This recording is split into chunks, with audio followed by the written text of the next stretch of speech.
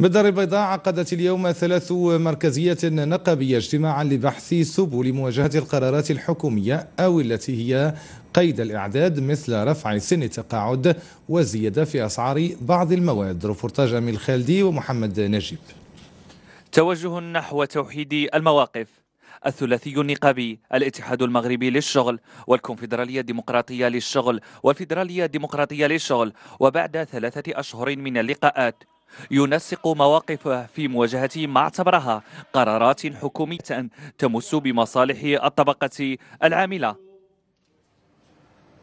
لما نقابات تاريخية كتولي دايرة ليد في ليد واقفة لأوضاعها أوضاع الشغيلة وملتزمة ودايرة شبه مؤتمر لتعلن آه، عملية تنسيق وتحضير المستقبل. هذا تقدم وتطور. هذا التطور أثمر اليوم عن بيان مشترك.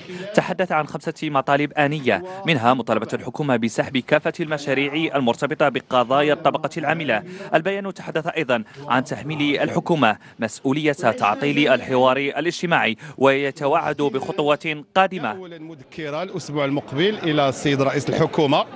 كنذكروا بمطالبنا بالجلوس إلى طاولة الحوار والمفاوضات. من أجل الاستجابة للمطالب العادلة والمشروعة ديال عموم المأجورين. دي الخطوه الأولى ولكن آه، الوحدة بالشكل اللي كنتمناوه لابد أنها كتطلب واحد العدد ديال الشروط وتوفر لها الشروط وتوفر لها الجو المناسب. فهذا اللي غادي نعملوا عليه إن شاء الله. القيادة النقابية المشاركة في هذا اللقاء اعتبرت أن العمل المشترك خيارا استراتيجيا لا بديل عنه وأن الباب مفتوح أمام المركزيات النقابية الأخرى شرط الاستقلال السياسي واستقلال القرار.